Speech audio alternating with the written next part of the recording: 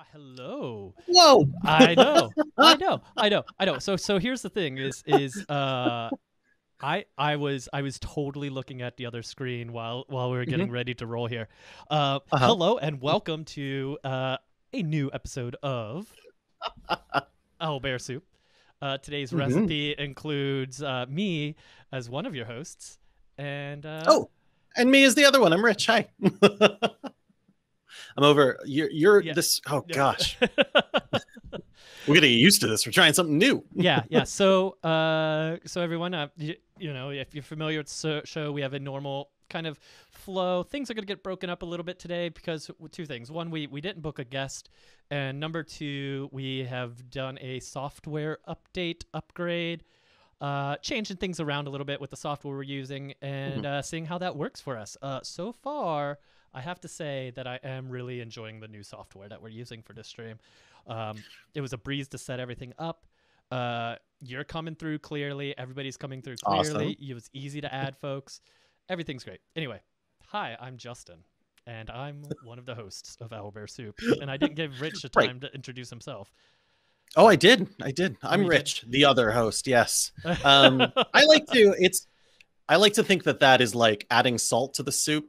You know, in a recipe when it says like add salt to taste, and it tells you that four times, and I'm like, Mhm. I'm gonna do it every time because uh, I don't know better. right? That's me. Yeah. Oh man. Uh, let I guess let's start with um, where we normally start. Is uh, did you do any gaming this week? What kind of gaming did you get into? Oh my gosh. Well, uh, I did a little bit of gaming. Uh, certainly, as we'll talk about a little bit later, I got a chance to play Scooby Doo Escape from the Haunted Mansion, um, the newest Coded Chronicles game from the Op game. So I'm excited to run you through that in a little bit. Um, other than that, I have been like just uh, entirely like head deep into is that a word? I don't know. Um, uh, Assassin's Creed Valhalla Oh yeah. Uh it has hit my need for like wide ranging i don't know i'm gonna go over here now and and deal with some stuff for a while which is Yeah. endless entertainment yeah, no, I uh, I'm I'm not a big Assassin's Creed fan, but uh, Mm-hmm. just because I I don't like open world games because I need a very linear path. Unless I'm playing like a, you know, uh, uh, unless I'm playing like Destiny with you, you, you and Fletcher, um, it's it's definitely one of those things where it's like, oh, I uh, I don't really like these open world games. I, I I get super Yeah. super bored, and Mhm. um, but yeah, not for me. Uh, I did, enough. however, I did play some D and D. Um, what I know, what I know. I'm in a I'm in an every other Friday group with uh, some uh, some folks who I know through the DJ community. Um, it's uh, I am playing uh, my hag named Granny, uh, who also Uh-huh. and we all got a free feat at uh, at at first uh, at first level. So I went ahead and I gave ourselves or I gave myself the chef feat. So great I make cookies. I'm a druid, uh, druid hexblade, hexblood, uh, who makes cookies and has good berry oh and is I- fantastic. i thought you were about to say you were a hexblood hexblade oh, that that that would be hilarious. oh my gosh that's fantastic. Yeah I, I think we talked about this character a little bit um, yeah, right? Giving out all these cookies all the kind of coolness you can do plus with the hex blood i mean that's a ton of fun. Right. um what uh did you feel like you fit into your first adventure pretty well? Are you yeah. are you off and running? Off and running. Yeah no this uh, so this would this would be our our, our second adventure um, and yeah it was fun. So so the story is uh, we all kind of came together in this this this area through different ways but we've all had either had dreams or seen this strange plant kind of coming out of the ground. And it's Ooh. it's it's creepy. It has weird power. Uh, we all have failed our vibe checks when it comes to interacting with it so far well the two of us who have interacted it with it which is Uh-huh. uh, you know uh, myself and uh, actually commander slither in the chat um, nice is, is is is the other person who had interactions with it and we decided well we need to go to town we're a couple of hermits we need to go to town and figure out if there's anybody smarter than us you know who who can help us with this so we go into town Yeah. and uh you know long story short we get we get brought into this group of other misfits in a uh a, a tavern that's that's very much like the the uh, the mystical tavern in the DC universe. Its its doors okay. kind of open up to to anything and everything, and you can you can go through stuff. Uh, and the answer is yes, yes, we did fail fail our vibe checks.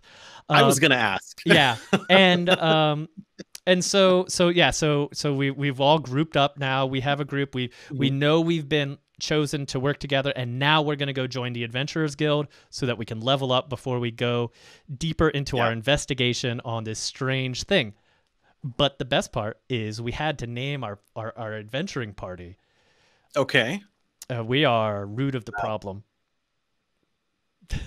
i mean that's that's very good. I like right? that. Yeah, I like yeah. that. it's really good. It's really good. I mean, the other the other one I thought was was uh, you know I, I was thinking about it the other day. I was like, you know, uh, I thought it'd been fun to be roots.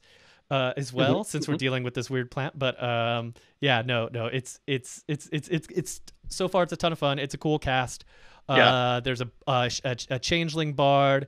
Uh, there is a, a gnomish uh, monk who is is the other uh, hermit who uh, Okay. Who, who's who's played by Commander Slither, and or Comrade Slither, and then um, let's see, me, Monk. I don't know. There's some other stuff, but the important ones you know. are me and the monk. I think. The, oh, so there's a, a Goliath barbarian, and then I think the uh, other one is a warlock or a sorcerer. But yeah, the the Goliath barbarian is fantastic as well. Yep. Uh, gotcha. Yeah. Thank you, uh, Comrade Slither, for keeping me on top of things. Oh yeah, and the pirate Ooh. rogue. I forgot about the pirate rogue. Uh, the pirate rogue and the in the in the barbarian are a couple, and they just had a baby, so they kind of swap back and forth a little bit. Um, yeah, it's Very but it's fun. but it's but it's a great party. It's a ton of fun. Mm-hmm. I'm really enjoying it. I look forward to that game every other week, and uh, yeah. So anyway, so that's yeah. that's the gaming I did. I also downloaded the revised version of Final Fantasy VII to play it again, but with okay. PS5 graphics and the added interlude. Um, part of part, part of the reason I downloaded it and I'm going to play through the remake again is because I was playing it on my PS4. And if you remember, I drilled holes in the top of my PS4's box because it sounded like a helicopter. Right, yeah, right, right. I do remember that. yeah, yeah, integrate. Uh, integrate, yeah. Uh, yep. Um, and and so yeah, so it's it, it's really it's really interesting to actually be able to hear everything. So I'm mm-hmm. super excited about diving into that. I haven't done much of it, awesome. but yeah. Yeah, so that's my gaming I, for the week. Gosh, I really want to check that out. Now you are selling me on it with the like upgrade for mm-hmm. PS5. Um, and then also the interlude, right, is yep. introducing another character. Is it introducing Yuffie? Yes. Okay, cool. yeah, and I remember liking Yuffie a lot. So yeah, um, I have to dig it. Yeah, I'm I'm looking forward to digging into it. Well, shoot. Well, I already beat it. Now I gotta. Mm, all right, we'll see. We'll see. Well, maybe though. That sounds. I mean, fun. what you, you what you can do is if you've uploaded your save on your PS4, you can transfer your save to PS5. I'm just Good starting. Point. I'm starting from the beginning because I want to hear what it sounds like, not from the cockpit of a helicopter. Yeah, uh, it's so cool because that game. Um, I usually do. Um, what was I gonna say? Oh, when I was teaching about linear algebra. Okay, uh-huh. let's get nerdy for a second. Okay, yeah. so like I would get in there and talk about how uh, you could use linear algebra to make polygons move, and that was like part of early computer graphics. And mm-hmm. I would always use the first like Final Fantasy VII um, in order to like show what we dealt with once upon a time. Yeah, and like why is the hair pointy? Because that's a point that I can easily move around in space now. I mean, I'm not putting a curl on that, that's for sure. Right. Um, and it was kids would look at those graphics and go like what in the world? Like how what? No no no. And it would just be like turn it off turn it off. Um, it was great. So playing it with like updated graphics is a pretty fantastic experience. Uh, there is a question from the chat and it says did rich play any games at disney on his birthday? Oh it was rich's cow. birthday. It was yes. uh, i did not forget um, I did get to play a game. I got to go to like the one of the reasons we went is because they opened up Avengers Campus. They got all sorts of Marvel nonsense everywhere. It's fantastic. Um, we got in to ride the new Spider-Man ride. Yeah. And basically, it's a it's a VR experience. You're wearing these glasses and you're looking around, and uh, the the story is Peter Parker and it's just this like you know nice young engineer and these other nice young engineers who are totally not superheroes in any way just happen to be developing the tools for Spider-Man I guess mm. um, they build these uh these spiders and they get loose. And so you have to run around with this vr thing and you are constantly like can i even do it on this screen? You're constantly just like um, you, you have to do that with your fingers and it registers you launching webs at different parts of the screen to kind of like defeat this uh this horde of enemies. Um i walked out of it and my arms were exhausted. That's awesome. I uh but it was fun you know, I, I, I will say like the the Marvel stuff is pretty much like the big reason I do want to go to Disney and check it out. Mhm. Um, yeah yeah yeah, yeah. That's that's there's a flip flip flip. Um, oh it would have been so fast i don't even think i could have said it we we had to do it so fast oh, um, and I think the two of us went and we got a score of like 300,000. And as we Oh, okay. walked out, we saw the top scores for the day. Like they, I mean, Disney's smart. They sell all sorts of, you can buy your own web shooters that will interface with the game and give you different options and give you, uh, it's just wild stuff. So people got like in the millions easily. Um, but it was really fun. Very fun. Oh, I must have missed that. By the way, I must have missed that. Uh, thanks for catching that, uh, Dom. Uh, thanks for the resub, Aubrey Cello. Um, More. bring in more subs. Uh, let's see. Yeah, I but uh, yeah, did. You see that? Did you? And I, you know, and I know the answer to this, but did you see the the robotic Spider-Man that gets flung through the air? Yes, I did that that wonderful mech suit. You know, you just dress a robot up in like some Spider-Man pajamas and it looks pretty realistic. Right. it basically gets flung through the air like 30 feet up um in this very like, oh, now there's people. Oh, now there's people and in the middle is that still the is that the same person? No, no, no. It's a it's a it's a robot. oh, that's awesome.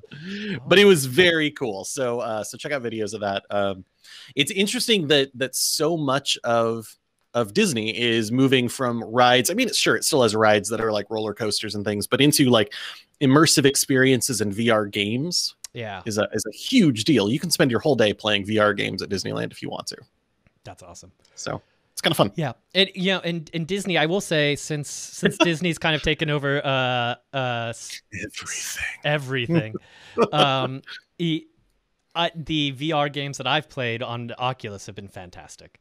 Um, Oh yeah. yeah, totally worth checking it out. Uh, I uh, I I literally had to like re re uh, re reacclimate my brain as I was climbing up this ladder on the side of this huge cliff, and I looked down and I'm like.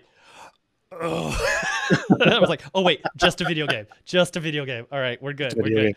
You know, it's weird. It's weird how your your your brain just kind of loses it a little. But Mhm, mhm. all right, well, should we get into stuff. some news? Let's do it. All right, I'm ready. grab my news and bring it on over. And uh, you know what? Why don't I kick it off? Because I have the You best news. I have the best news. This is the best news to talk about. Uh, everyone should be super excited about this. Uh, are you familiar with the gaming company Ravensburger? They make like smaller Oh. games. Like uh, Yeah. yeah. Uh, I think they also do uh, puzzles.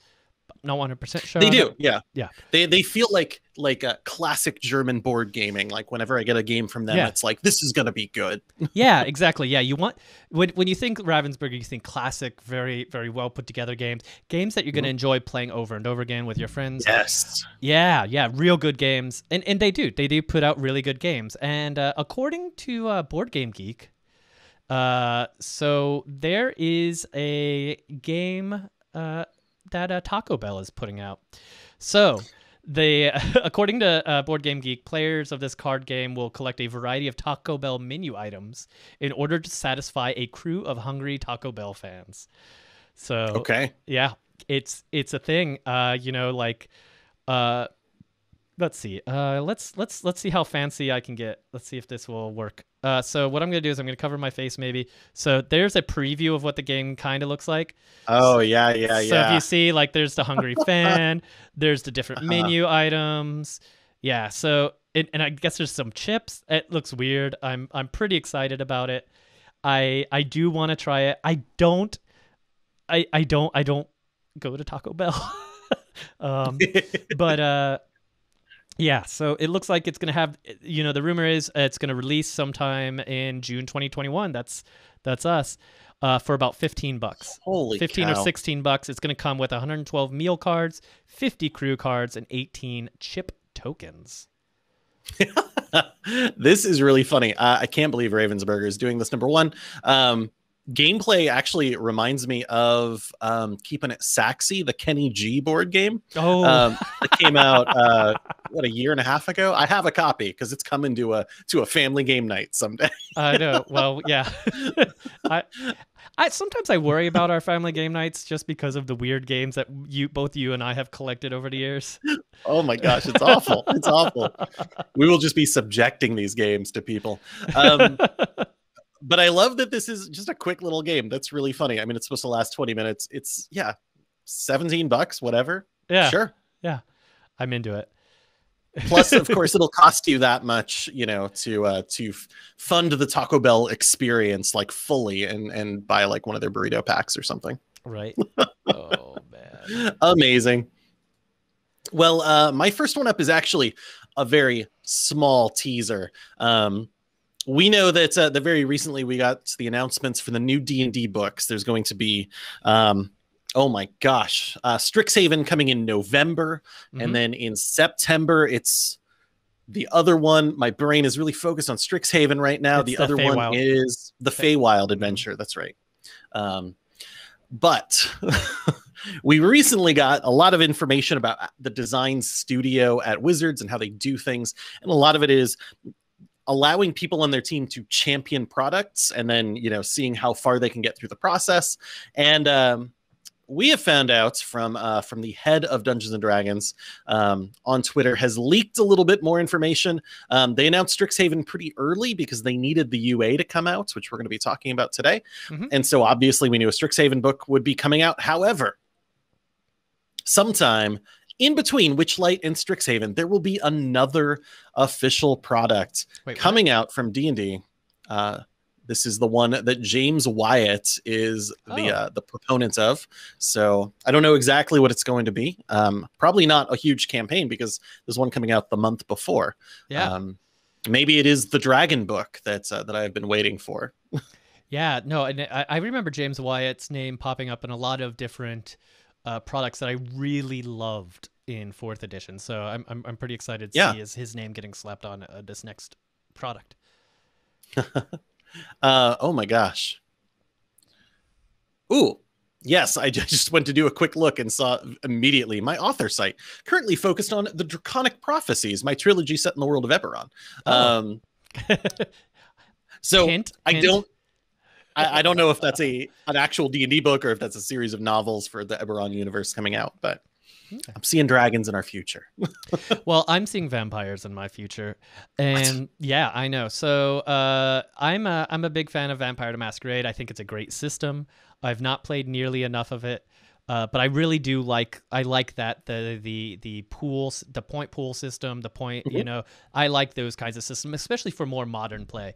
Uh, so Vampire the Masquerade Fifth Edition is getting some new items in 21 uh, 2021. So first uh, they're going to get the Book of Nod. So uh, but they're actually going to get two versions of this. They're going to get the Book of Nod that's the faux leather bound book with the silver foil and golden pa- you know it, and it's going to look really nice and it, these are uh, Yeah. it's a collection of mythic texts texts for use of in vampire the masquerade um, and it's presented in the form of an epic poem. So the book of nod is a great in-game resource um, but there's also going to be the book of nod deluxe artifact edition. So 14 uh, parchment scrolls uh, a handwritten journal a stone tablet uh, and all kinds of other cool stuff. And I'm pretty excited about that as well. And that's coming from Wow. Renegade Game Studios. Um, there's also a sec- second Inquisition source book. So, the Secret Church and Hidden State, uh, Hunting to Hunters, into cities across the continents, an antagonist's guide to the second rising, or the rising of the second Ooh. Inquisition. So, uh, what this is going to be is, is opponents for your kindred. So, uh, you know, things like special forces, vampire hunters, that type of stuff. Um, information a on fires. book. Yeah, yeah. So this is going to be like an enemy book, right? Um, all kinds of cool new new tools. Uh, and then of course a Vampire to Masquerade dice set because you everybody needs 13 custom black D10s uh, and five red hunger D10s just for playing this game, and I am so into it. That's fantastic. But that's not all. Wow. That's not all. No? Vampire Masquerade 5th edition core rulebook is uh, up for pre-order or is it is it available now? Uh, I think it's up for pre-order on Roll Twenty, which oh yeah, it is pre-order, which means uh, you're gonna get all the fun Roll Twenty stuff. So you're gonna get uh, you know the the the book, the character sheets, that type of stuff, all on um all on Roll Twenty. So I'm pretty I'm pretty jazzed about about uh about Vampire. Interesting. Also, hey, a Tempest Thema, welcome to hello, hello. yeah, um, I, I don't think I've ever played a, a White Wolf game with like a battle mat or anything like that. Um, no, but I am- Yeah. Yeah, but I, I'm really excited for using Roll Twenty, especially with this, you know, this Book of Nod and all those extra features. Like, it would be super easy and, and really nice on Roll Twenty to like to give handouts and have players be able to store them all. Like, that was one of my favorite things about the game we played. Is I don't remember who that NPC is, but I know there was a picture and an outline, and I can find it. You know, I don't. You know, I had tons of notes just because of the way it was set up. So Yeah, That's exciting. st- storyteller games are, are are are a little bit different in feel than D and D. Um, it just because of the way way it all works. But Mm-hmm. um, I could see playing it with a battle mat, and I don't know. I would have to reread the fifth edition book and see if it's really if it would really make sense for combat. Right? yeah, It may not make sense for for combat in that system. So, it could be. Well, uh, my next bit of news is is pretty uh, exciting for me. Um, it is a game coming out. It's called Unfathomable. Um, this is a fantasy flight game. Um, we've been teased a little bit with it in the past, but uh, what we've come to learn is that this is a social deduction game set in the Arkham horror universe. So Cthulhu stuff. You are on a boat, and it's a remake of basically the Battlestar Galactica game. So, Nice. uh, you know, instead of the humans and the Cylons trying to defeat each other on Battlestars, it's you know flying across space, um, trying to get back to Earth. This is you're uh, probably just trying to survive the ship Oh wow. as uh as tentacles are coming out of of the water and all sorts of things um from the looks of it uh that we've got there are definitely the different spaces on the ship where you get to perform specific actions just like in the battlestar game Mhm. uh there's also plenty of spaces outside of the ship for the monsters and hopefully not the uh you know folks who are on board the ship um i don't i don't think anybody wants to go sinking um but that's like oh my gosh those the battlestar game was a ton of fun i played it Was so many times I only got to Um, play it once. oh really Yeah. uh, there were certain expansions there was one in particular and i think it was the the uh it added the Cylon base ship. And so basically in in Battlestar, right, if you're a Cylon, you're trying to pretend that you're a human for as long as possible because if you get outed as a Cylon, you get to still play but your options are limited. Um in uh when you add the Cylon base star like cool. Yeah, okay. I'm a Cylon. I'm going to go be reborn on the base ship and I'm going to mess people up for the rest of the game. Like it is a ton of fun. Um so maybe this game will get expansions. I don't know. I don't know if you get to play the the the under deep world of the Cthulhu Right. Right. folks, but Yeah. uh, it could be fun. yeah I, I i'm pretty jazzed about it for the minis alone i you know i love minis Oh yeah, fantastic minis fantasy flight does good minis um that's true. But you know here's the thing is i know cthulhu monsters are in they're hip but i think it's going to be the summer of vampires and renegade game studios is right there with Come me. on. uh they're they're the, the game called the hunger is uh, available for pre-order. This is going to be available in september. Um vampire so so here's this so vampires awake from their torpor as eternal roses are blooming you have until sunrise to run uh run to the labyrinth and pick the most beautiful bloom hunting for humans on your way tempting familiars into helping you and increasing your power to become the most notorious vampire Wow. I'm, I'm pretty into it. Wow. Uh, you can download the rulebook now.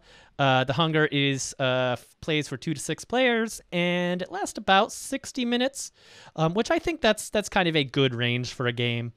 Um, I don't. There's very few times now that I want to play a game longer than an hour, Uh-huh. uh, but yeah.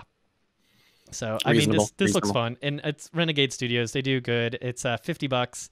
Has a lot of really cool pieces. Um, Mm-hmm. if you order it, if pre-orders get uh, six variant player sheets, so like different art and stuff. Um, Mhm. Yeah, it looks good. I'm into it. Cool, cool, cool. Well, uh, if you, like me, uh, prefer to be on the side of the hunters, um, because uh, when I think of vampires, I watch Blade. Um, Blade 3 specifically. um, you might be interested in a Kickstarter that is going on right now and will be going on for 17 more days. Um, it is uh, Heliana's Guide to Monster Hunting. It's a supplement for D and D, fifth ed, and uh, I don't know if you love The Witcher. This is a book for you. It is all about um, creating this 300 page book that will give you specifically monster hunting style adventures. Um, tracking these creatures, like finding the signs you need in order to find their lairs. Huge monsters built in a boss battle format that has like usually three phases to make it just these epic, ridiculous fights. Um, and then afterwards, of course, you know, taking those monsters and harvesting the components that you might need to create the magic items that you want. Um, uh, living items. They talk about a sword in here and other magic items that, when you defeat certain monsters, will level up and become more powerful. Guides to that kind of game. Um, I love the idea of monster of the week style gaming, and yeah. this is just making it better in D and D because it gives you those goals and those options that you want from like The Witcher, from Monster Hunter World, or or any game like that. Um, I am not alone in this because this has already almost hit a million dollars. I mean, it's doing great. There's uh, almost 900 backers. Mm-hmm. Um, and if you want this book, the PDF is $25. Um, the actual physical copy gets you 50 and then there are of course tons and tons of add-ons you know um, special playmats special styles for the book pins um, dice you know whatever else you want from one of these um, huge d&d kickstarters nice so I I recommend checking it out. I think this is a cool game style, and I'm certainly at least the very least going to get this at the twenty five dollar level. Nice. Um, I'm I'm a big fan of weird games. Not well, weird games too, but the the company Wyrd Games, W Y R D Games, and they put hmm. out uh, they tend to put out a little bit creepier stuff, a little bit spookier stuff, and and th- while this isn't specifically vampires, there could be vampires. Uh, there's a game coming in fall called uh, Vagrant Song and okay. Vagrant Song is a two to four player campaign game that takes place on a haunted train. Um, they say that uh, they are taking heavy inspiration from American folklore, folk songs, and you know like folksy ghost stories, right? Mm-hmm. So it's a fully uh, cooperative boss battler. You and your friends will take on the roles of uh, vagrants who are trying to escape this ghostly train. You have to work together to face your feels, fears, reveal the mystery behind the Silver Ferryman, and devise a plan on how to escape it. Wow. I'm pretty excited about this. So, um, you know, and it, it it's it I I like the game board, and I'm gonna do that thing where I pull pull an image onto the screen so everyone can see it again. Uh, just because I think this game board looks fantastic. Let's find it. There it is. We'll just toss it right up here. Uh, I yeah, I, right? I love the fact that it's longer than a normal game board, and it does look like a train. There's all kinds of cool bits and stuff to check out, mm-hmm. as well as some minis. Yeah, so I'm I'm into this. It looks like fun. I'm excited for it. Very cool. I like that, especially that longer board. Um, yeah. You know, train maps are always always intriguing. I like that they're doing it. Mm-hmm. You got to go for it. Yeah, absolutely. So, um, let's see here. Uh, what else is what else do we got in the news? Anything? Oh gosh, um, I, I got a small one and a big one. Um, all Small right. one, real quick, just to chat. We've learned a little bit more about the Magic the Gathering stuff. Go, there's so many shenanigans going on with Magic the Gathering right now, right? It's from yeah. from crossover books to the Forgotten Realms specific campaign. Um, we uh, we're learning a little bit more about the uh, the gathering universes or the universes beyond, right? Mm-hmm. Um, adding stuff like like you were saying, Warhammer or um, Stranger Things, D and or excuse me, Magic the Gathering sets. Yeah. Um, and uh, they let us know in here through a couple of updates recently that uh, they they plan to do this in the form of a secret lair, which which feels a lot less like a collectible card game, more like a living card game almost. Yeah. Like it's a smaller set of cards. They have more interesting mechanics that work together really well, and they're not actually meant to be played with the rest of Magic. Um, they will be updating the list and and starting to come out with. Um, I think the reveal I saw was that they were going to start re releasing some of these cards in a more magic friendly format um, when they'll be added to the uh, the list, which is their curated curated collection of cards um, that end up in the the boosters and things like that. So Nice. um, you'll be able to find them in the future normally um, in regular boosters, or you can get them in this special like secret lair format. Oh, that's so cool. I'm I I, I I've been really getting into Magic lately, um, online. Uh, you know, on the uh, uh, uh, Magic the Gathering arena. So I Mhm. hope some of these cards come there because it'd be fun to play with those. But I Yeah. I, I can't say that I'm gonna go out and buy them because I'm not a, a a cardboard Magic player. But if you are, um, they look sh- they look really good. I I love the art. Um, yeah, and Yeah. also The Walking Dead was the other one that you didn't mention that I heard is coming up. Oh, that's right. I think would be a ton of fun to have some magic cards for The Walking Dead. Mhm. Um, are we? I, I I think uh, I think now we're gonna dig in, start digging into D and D for a little bit. Uh, we have some D and D news. Uh, the first one I'm gonna I'm gonna kick us off with is uh, expanding Dungeons and Dragons. Um, so the idea is that they used to D and D used to have other companies handle the translations for their books. It was expensive. It was hard to do. It was hard to get those books. The books were expensive. So uh, D and D is taking it over now, and they are going to be, um, you know, working to make uh, D and D as successful in other languages as it is in English. So they're hiring dedicated team members to work on these products. Uh, they're investigating new printing and production. They're undertaking huge translation tasks and reviews of existing content. Um, Mhm. New, uh, all kinds of stuff. They're doing so many stuff. They're working with local teams in Europe and Latin America to get these products into the hands of fans. So um, yeah, no, it's it's super great.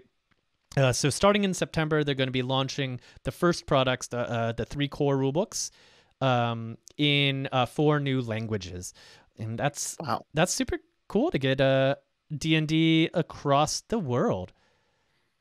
So Absolutely. And it's good that they're just doing it and making it their job to do it. yeah, yeah, yeah, Yeah. So I I think it's great. I know, uh, and actually, in a couple weeks, we're gonna have Teos on. Uh, Teos is is is from Colombia, and so he grew up like having to translate, um, you know, translate Yeah. for himself. So, um, you know, this this is gonna be pretty exciting and pretty fun news. Absolutely. That'll be fun to talk about. All right, so uh, should we talk about the celebration thing? Oh, we should. Oh my gosh. Oh, folks, folks. Um, it was recently my birthday, and on my birthday, this Dungeon Master Challenge was dropped. Yeah. um, as part of the upcoming D&D celebration for 2021 um, that G4 is going to be putting on. Um, in the lead up, they are announcing this Dungeon Master Challenge where um, there is a huge open call. and We'll talk about that as you people get in and write different things according to the very specific standards that they have described for this competition. Mhm. In the end, 10 dungeon masters will be chosen to take place in the competition. Um, a few of them falling out round by round until they reach the final winner. The the who will be named D&D's best DM. you you you entered uh, similar contests like this for Paizo, didn't you? Yeah. So yeah, what- this this is very similar. very similar. So what was that experience like? In it, it was it was it fun? Is this something that we that I should be trying to do that that you're gonna do that you know just to even just throw your feet into it? Yes. yes. Right. Everybody should be doing this. Um, yeah, the the Paizo one was RPG Superstar, and Mm-hmm. uh, it also featured an open call like this one. So it was just anyone who wanted to, right, who knew about this project could write something for it. Um, you send it in. It is judged by the folks. I think RPG Superstar there was a public voting component because it got Mhm. so large. Yeah. Um, but that also started with writing a magic item, which is not huge. Um, you know, you could do that in like 250 words, and that that's a huge item. yeah. So let's let's talk Um, about this a little bit. So first, let's before we get into the rules. So we'll look at stage one, which is the open submission. So yes. uh, you have till uh, you have until what is it? Uh, the 17th or the 20th. Uh, Right. 12 p.m. p.m. on the uh, you know on the 20th to get it in. Then Mhm. stage two is the Dungeon Master Challenge, where 10 Yeah. finalists will uh, be on D and D live, and they will be DMing for a judge, right? Oh no, I messed that up. Open stage D and D live. Uh, there they will compete a series of weekly challenges. Sorry.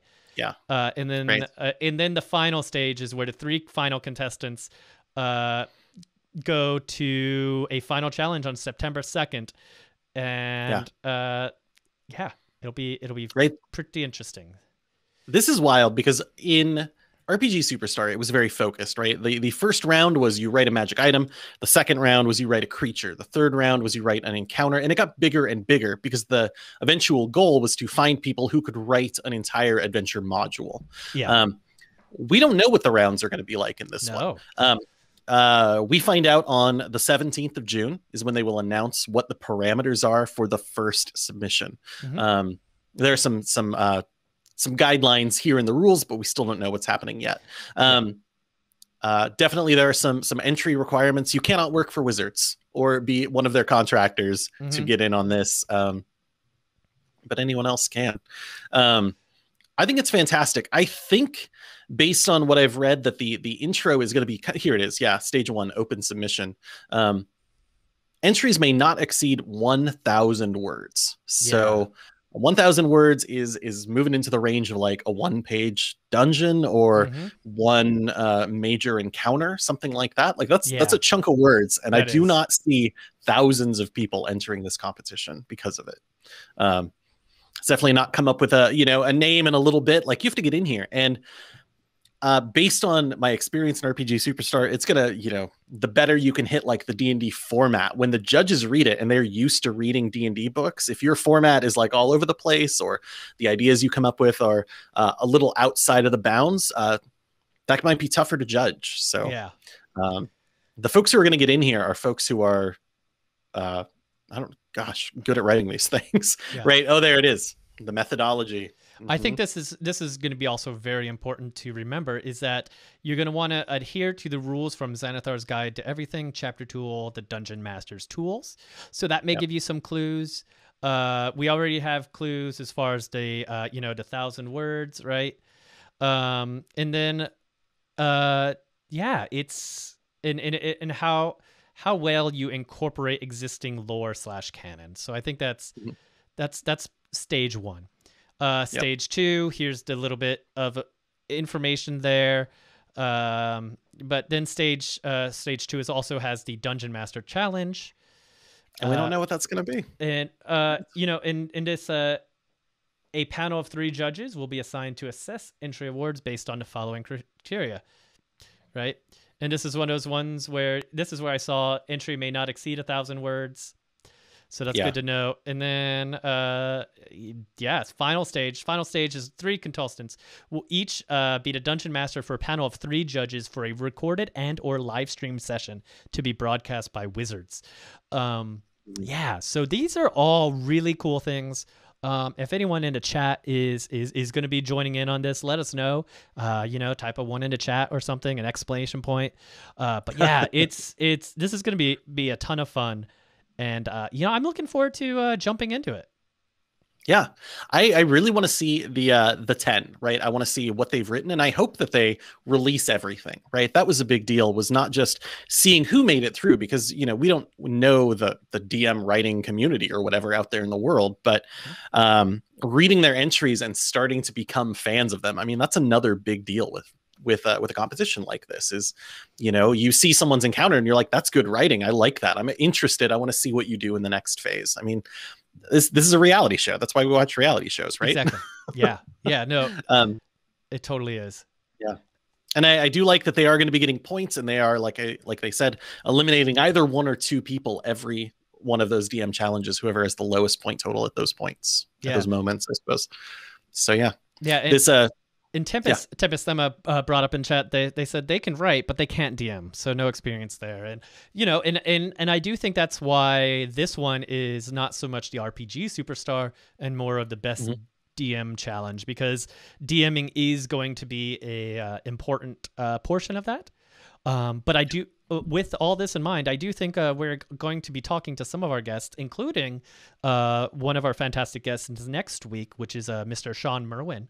Uh, we're going to be chatting to him about some adventure design and some DMing tips and that type of stuff. So definitely, uh, Tempest Thema, come back, uh, check it out, see what Shawn has to say. Mm-hmm. He has a lot of experience talking uh, or playing, r- helping new players run, helping players run, running an organized play. So Right. This this first entry, the open submission is written. So Yeah. you know, get in on it. And the other thing about it, which I, I highly recommend, right? When when I oh my gosh, the first time I did RPG Superstar, I didn't know what the heck I was doing at all. I wrote an object and it did not make it even through the first round. The second time I entered, I did get in.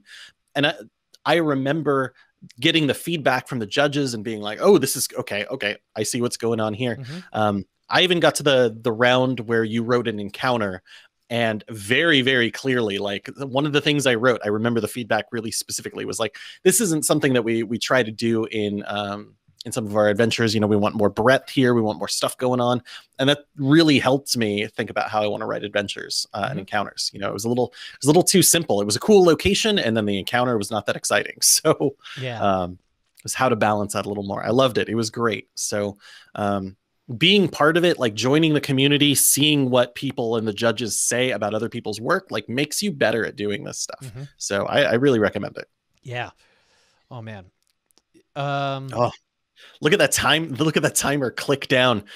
That's Right. the moment they will release the information. Uh, everything is due on the 20th, which will be our next show. I mean, so this Mhm. open submission is happening this week, this coming week. Yeah. All right. Ooh. Oh man. All right. Well, that's that's the news. News took a little bit longer today than it normally does because of some of the big news that was coming specifically specifically this. But uh, are we shaking now. are you are you ready to uh to get some Scooby snacks? Oh, I am. Yeah. All right. So let's, Let's pop on it. over here. So uh, I didn't get a chance to play this. You did. Um, this is a Scooby Doo Escape from the Haunted Mansion. Um, and this game is from the Op. And Yes. Yeah, so so tell us a little bit more about this game. I I'm Yeah. pretty I, I'm pretty excited about the style of game, but you you talk a little bit more about it. I am too. Um, this is the latest in the Coded Chronicles game series by the Op. Um, I'm excited by these. These are these are meant to be games like escape room style games, right? Mhm. So you there's a mystery, you're trying to solve it. Um, oh my gosh, the theme song was almost there in my head. Uh, there's a mystery to solve, and Scooby Doo is ready for you. Okay, all right. Anyway, um, I don't have it. Um, but I this game brought it all home for me. Like this felt like a Scooby Doo game. Yeah. It was not just an escape room thing with stuff going on.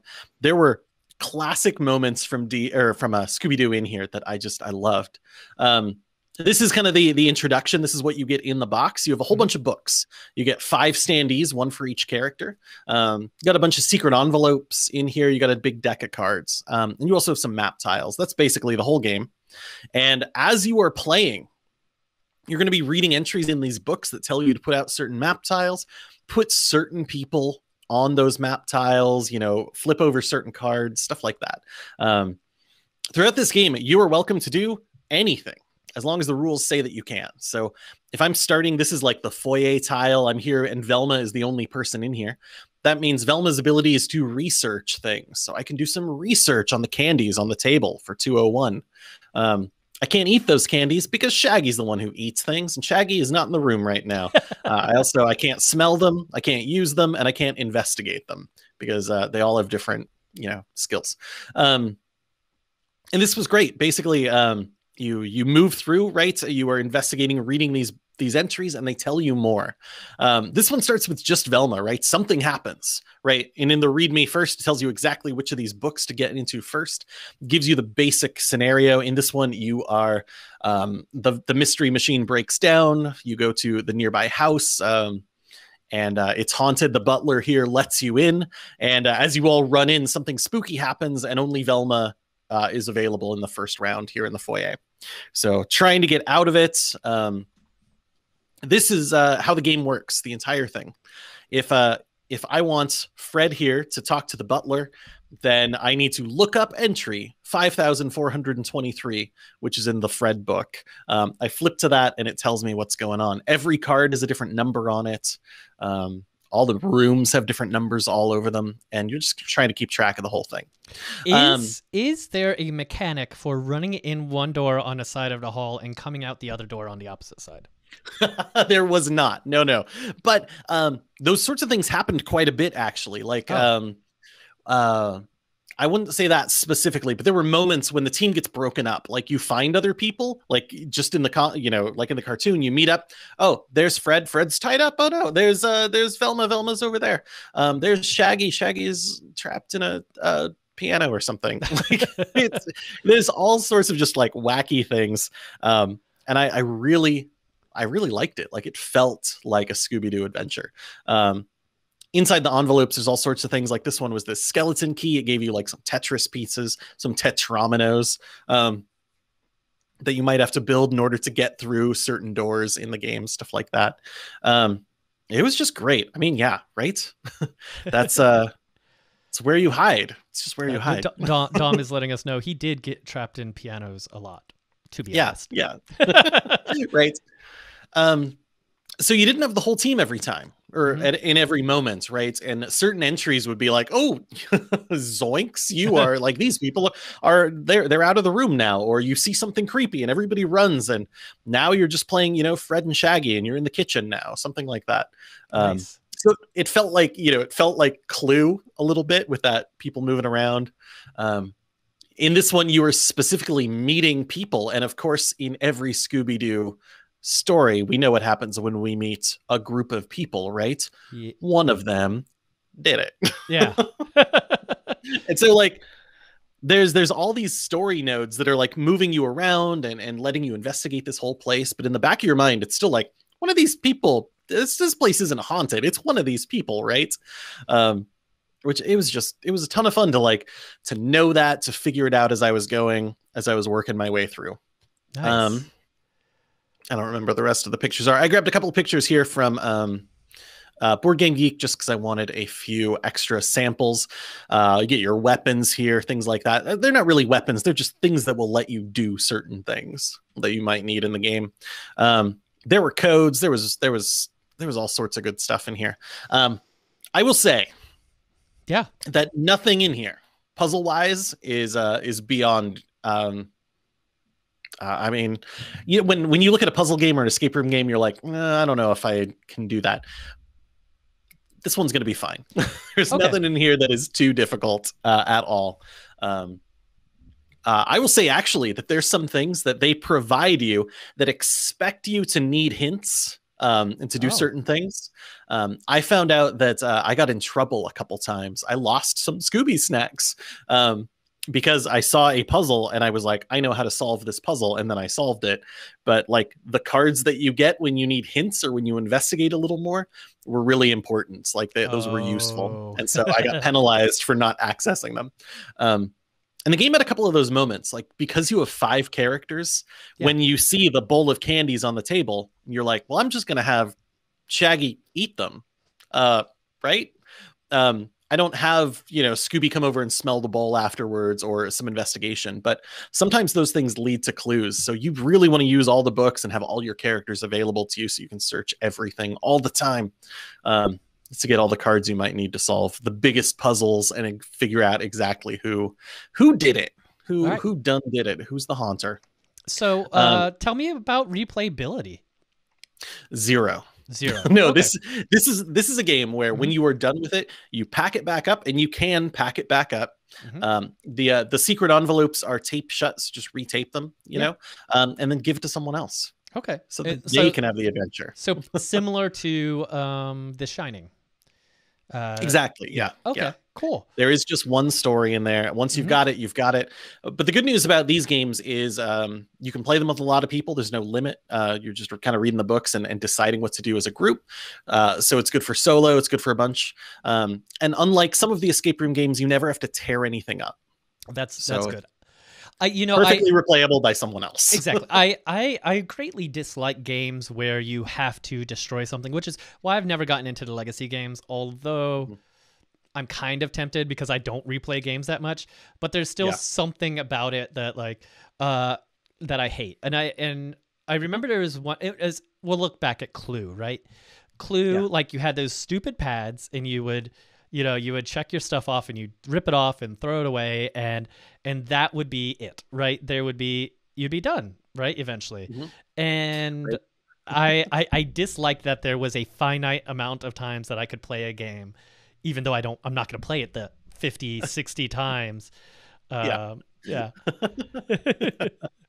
yeah, I totally understand what you mean. Like those, they just you see it and you're like, this game has an expiration date. And I mean, a, lot of games do. We just don't realize it because we we only play it three times and then it's Yeah. two years later and we're not going to go back to it, right? exactly. um, but uh, but it tells you right in advance that this will be a limited experience, so enjoy it while you can. That's awesome. Um, yeah.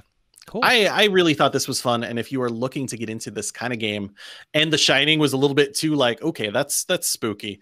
Um, this one's just fun. It's just fun. It's silly. It's got Scooby Doo moments in it, and uh, it it really felt like the writers did a lot of good dialogue in there. Like when you read the Velma book, you get Velma quotes. You know, when you read the Scooby book, you get ridiculous things.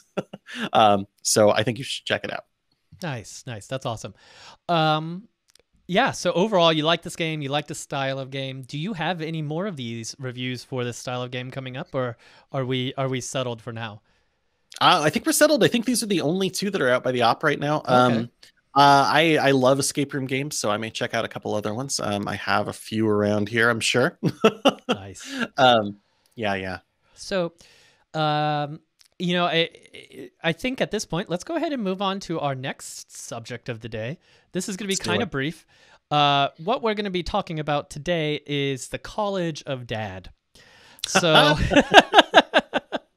Yes. so so this this started i saw a somebody tweeted uh, uh, that there should be a a bard college that's just uh spawned around dad jokes so Mm-hmm. you know your uh, your cantrip uh vicious mockery is just bad dad jokes and your your Yeah. inspiration is just like uh, is is is like a dad patting you on the back and say "get her done," right? Mm-hmm. So so I thought it would be hilarious to design a subclass for the bard in uh in celebration of the upcoming Father's Day, College of Dad. Uh, this is this is I think version two. I think we're actually on. Uh, I think I think we're actually on version three. Wait, there are good dad jokes, says? Penguin Witch? Doctor. It's, like, eh, it's debatable. Um, right. But you know, so it's just kind of fun. Uh, we'll we'll make sure and make this available. oh, that's good. I like this. DJ Regular, you got this, champ. Players granted advantage. Right. And Yeah. I mean, you could you can run that. That can be the way Bardic uh, inspiration works for you, and it's fantastic, right? Exactly. But when you wrote this, I got really excited because it's got little bits in here that just dig into it. Um, yeah. Uh, So so not- we'll start with see. the bonus proficiencies. Yeah. Uh, when you join the College Dad, you gain proficiencies with cook utensils, land vehicles, and water vehicles because Dad is always driving and Dad is always at the grill. So And right- I don't know when when I put this together, I, I had this feeling like it reminded me of of um, Onward so much. So that's why like the, the Onward dad stuff yeah, is in here. yeah, no, uh, made me laugh. um, yeah, very helpful. You got to have some tools. Got to have some stuff to drive, right? Yeah, Sounds exactly. good. Uh, and then at third level, you gain the uh, you gain the ability. Let me help you with that. So there's nothing dads like more than than than helping, and you know, and, and and helping you learn new things, and you know, and, and dads are always seem to be a jack of all trades. So uh, as an action, you can add a, uh, your proficiency bonus to any skill in which you uh, are uh, are not already proficient for 10 minutes. Additionally, if you help someone with this new skill and they succeed on their check, the outcome is remarkably successful. And uh, through the glow of accomplishment, you both gain uh, 1d4 plus your charisma modifier hit points. Right? And, and, and that's just like, you know, it's not a lot of hit points. It's just, Mhm. it's fun. Right. Um, so this yeah. one, I, I totally see it as like, oh, so you're trying to study this arcane ritual, huh? And like glasses on. Well, I, I did a little bit of study of that myself back in the Yeah. day. Well, let me Mhm. let me take a look. Yeah. And know, then the- when it works, you both get hit points. yeah, the, the the one that came to my head, like I mean, like I could imagine a dad walking up to a wagon wheel and seeing it's broken, say, "Come here, sport. Let me show you how to change a wagon wheel." Right. Yeah, absolutely. So I like that ability. Very fun. Mhm. Um, and then at sixth level, you got this sports. Um, you get to uh, you know encourage your your companions to be their very best. As a bonus action you call out to you know any creature who can hear you you try to encourage them and they get a choice of how they want to be encouraged here. Um, whether that's oh i've got a thing that's affecting me so you got this sport. I'm going to make a saving throw to try and you know not be grappled or not have be poisoned or whatever else. You know you got this. Mhm. um immediately heal a couple hit points um a d6 plus your charisma modifier a little heal that's good. Um or you know just make an instant single melee or ranged attack or cast a cantrip. Yeah. um i love those abilities right? They're just small they're quick. It's just you as a little bonus like get out there. You can do it. Oh man. And then and then you know when you when you're nearing those epic levels your your your your your progeny has grown up. They have learned so much and and as a dad you're so proud and i'm so proud of you is what they gain at 14th level uh, and then as a bo- as a bonus action, you tell one creature uh, how proud of them you are, and that creature may immediately spend a number of hit dice, uh, or any number of hit dice to regain hit points, and they gain bonus on their next attack roll, ability check, or saving throw equal to your charisma modifier. Yeah. Um, yeah, it's it's it's it's pretty great. Mhm. Um, The pride in your voice speaks to the hearts, uh, allowing this feature to target creatures who are Oh. sleeping or unconscious, and they immediately wake up unless they are under the effect of a magical slumber. And you can use Right. this uh, ability uh, once at the uh, once during a short rest or long rest, once per long rest. Sorry. Right because that's that's basically that's a revival spell you know if Yeah. you were unconscious you've been dropped well you can almost heal i mean if you're rolling as many hit dice as you've got you could i mean could heal all the way back to full it's Yeah. unlikely but you could um so that's Yeah. a that's a big move which i like a lot like Yeah. a good 14th level power yeah so uh, we're gonna we're gonna make sure and toss this up onto discord uh, we'll try to get reversion 3 up there and uh, yeah i don't know. Have fun with it. Play play around on dad's day. Let us know if you have any suggestions on on if things are out of balance and uh, we'll play around with that. Because it's why? Because it's fun. And That's uh, right. you know and, and and colleges are fun to write so. All right. Now speaking of uh, subclasses are we ready to really get into it? Really get nerdy with it Oh, man we're diving deep into d&d today very deep Mhm. let's do it all right all right So here we are, Mages of Strixhaven. So this is a playtest document from uh, Wizards of the Coast. It's the Unearthed Arcana, um, and this is uh, allows you. This is a these are subclasses that allow you to play a mage associated with one of the five colleges of Strixhaven. Um, yeah. So I mean, you know, Yeah. That's that's it. Well, tell me a little bit. So, I mean, this is a, a magic crossover book, um, Mm-hmm. And. I did not play the Strixhaven set. So, so we talked about this a little bit last time, but but what is Strixhaven like? Uh, okay, so Strixhaven is a school of school for mages, and there are five different houses, and each of the houses are a mixture of two colors.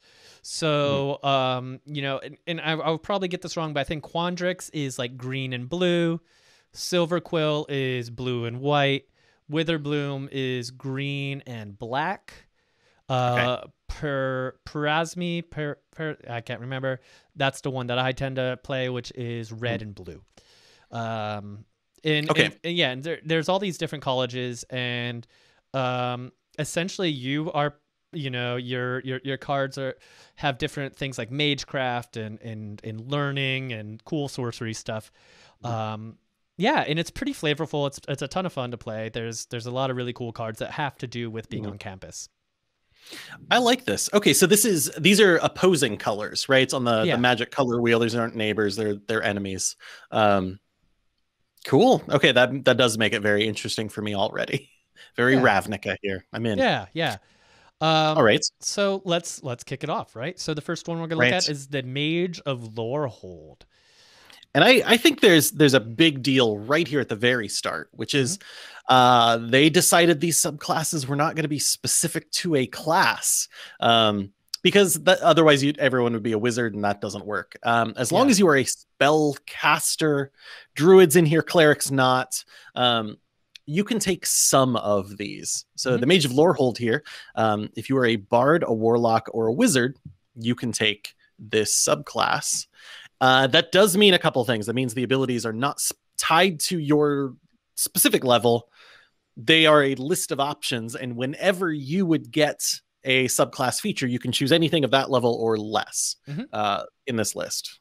Yeah, I- and I and I think that's pretty interesting. Um, I would have to look at the bard, the warlock, and the wizard and see when they get. Oh, oh interesting. See when they get all these things. Somebody already did this. so, so if if you were to if you were to take a class, which one maximizes Mage of Lorehold, and which one actually is hurt by taking it? Yeah, and in in this case, right, um, a lot of the classes are pretty similar, right? Druids, warlocks, and wizards all get they get their first abilities either at first, second, or third. Actually, yeah, first, second, or third level, Mhm. as all characters do. Um, every class gets a feature at sixth level. Every class gets a feature at fourteenth level, but not all of them get one at tenth. So actually, if you were a bard here, you get one fewer option than everybody else.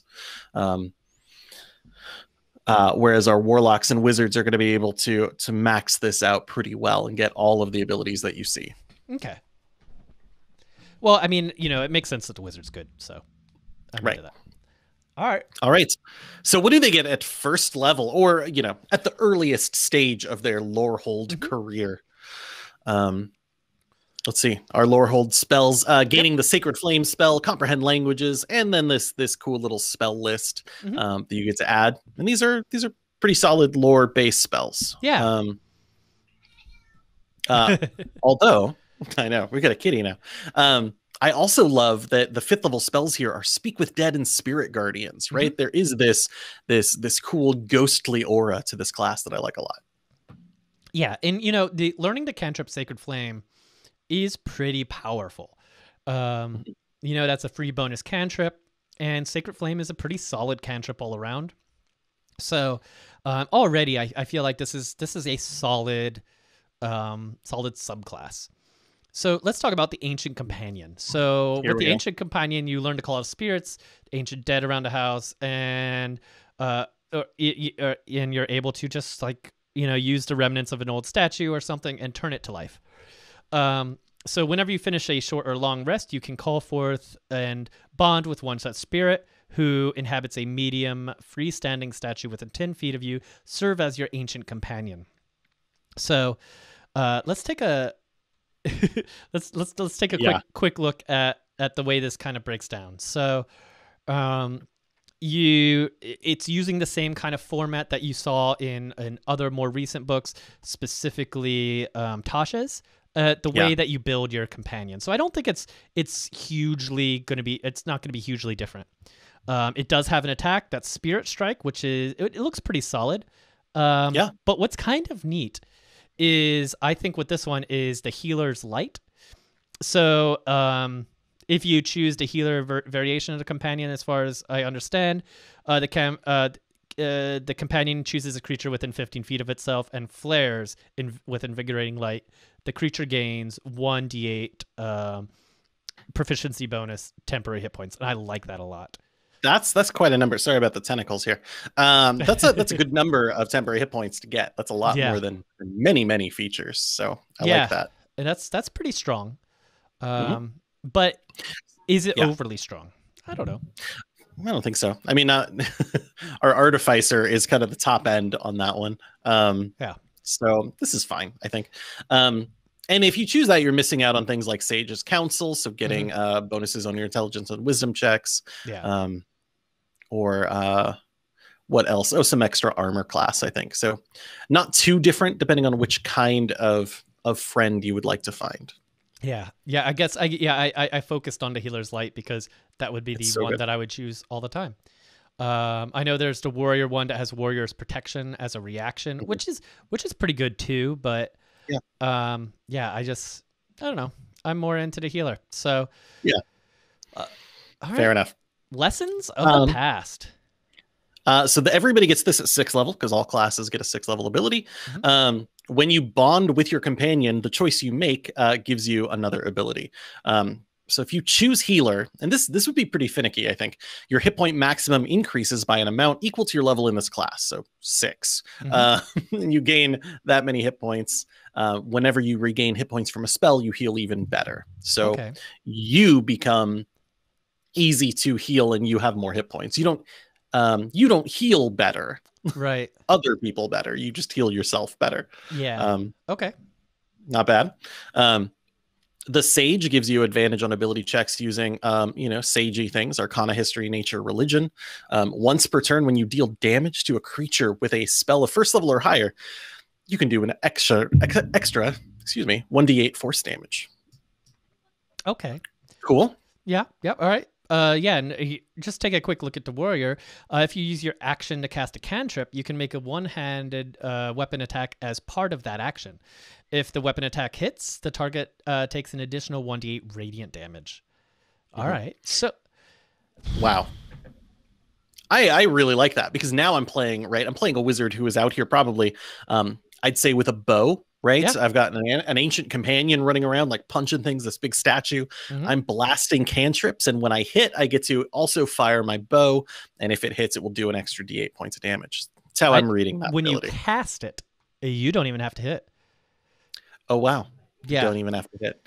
So you're basically getting double strike at that point, you know? Um probably nine. I mean, at six levels, so your cantrips are leveled up. They're doing, you know, two dice of damage or whatever else, and your weapon is, you know, fine. Probably not great, but Well, I another mean, attack is gone. but let's let's take a look though, right? Uh, so you're a blade lock, right? Oh, oh, there we go. All right. Yeah. Yeah. So so so I'm now I'm now I'm thinking about a little bit of balance, right? So let's take bar, bard and wardlock, right? We got the sword bard, we got the uh, bard lock, or not the bard lock, the uh, sword lock. Uh, if either of those take warrior, uh, that's going to be a huge boon for them. Yeah. Uh, if Yeah. any of them take healer, that's going to be good for anyone really across the board. Just in general, I think it's it's a solid survival. I think Sage is the weakest, I agree. except for you know that D8 Force. Force is great, but I Mm-hmm. think it's it's it is the weakest, and I think it would only it'll be primarily used as it's probably intended solely for um, you know role play encounter style days. Right. Yes. Your your sage is this ancient spirit who is giving you advice all the Yeah. time, and there's nothing wrong with that. I mean, that can be very helpful. Mhm. Um, Yeah. But it's not going to have the damage output of these other two. Yeah, and, and, and I and I it, I would almost go like I like the idea to Sage, but I would almost go um, giving a bonus to a D20 roll and taking away the uh, force damage, right? Because you know, like if you could do add one D8 to any one uh, you know D20 roll per short rest, right? That's Yeah. that's powerful, but I don't think it's overly powerful. I think it's it's enough to keep it where players will have to choose between the warrior and the healer and really consider what's going to be the most valuable for their you know their survival their their their experience um, and i like the d additional d8 to d20 for the sage too because then you can use that for skills Yeah. Absolutely. I feel like the warrior here is probably going to end up as a extra weapon attack as a bonus action, maybe mm-hmm. rather than just a free action. But Yeah. who knows? Yeah, I think that'll shift to bonus. Uh, because yeah, once you start thinking about the blade lock, um, you know, you're up close and you cast a cantrip. Yeah. Boom! You cast you, you you cast sword burst, right? So then you know sword burst is a cantrip that has a free attack associated with it, and then you get another free attack. So that's Yeah. you know a bajillion damage right there in one round. So I think Yeah. the warrior is going to get trimmed a little bit.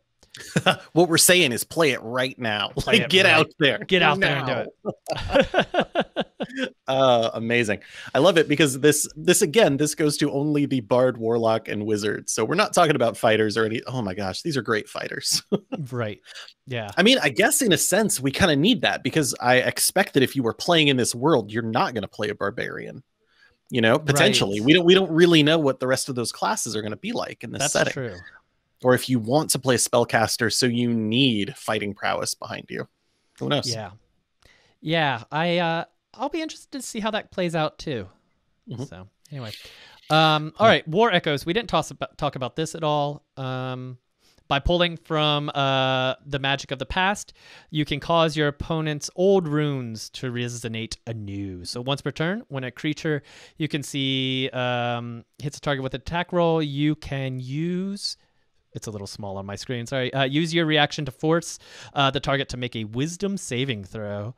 Um, against your spell save DC. On a failure, the target becomes vulnerable to the uh, damage uh, types of the attack. Um, and the vulnerability ends with the target's next turn. So That's brutal. That is, That is. brutal. Because uh, that's double damage, right? Yep. So, and, and if if you're getting hit with, one um, and a I mean, there's no limits on this one, so it could be a sword. Yeah. it's a slashing weapon. So now uh, all slashing weapons do double damage until the end of their next turn. Um, yeah, you don't you don't need a stunning monk around anymore. You No. know that's, it. just. does it do damage, double damage or 1.5 damage?